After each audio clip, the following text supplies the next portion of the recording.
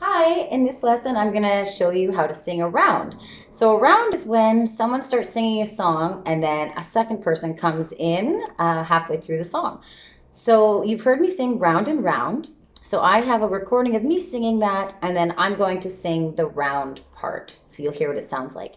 Um, so I'm going to come in on the second bar. So after you'll hear me singing round and round the earth is turning, then I'm going to start the song at the start. So you're going to hear me echoing myself almost, okay? So let's see if you can, hopefully you can hear this.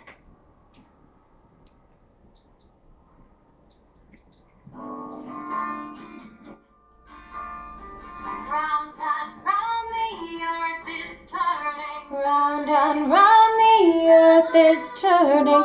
Turning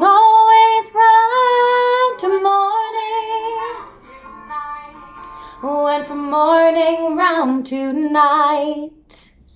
All right. So hopefully you heard that and you can try singing uh, around to the previous video that I when I sang that song and you can try to come in on the second measure and repeat after me and uh, hopefully you have fun with it bye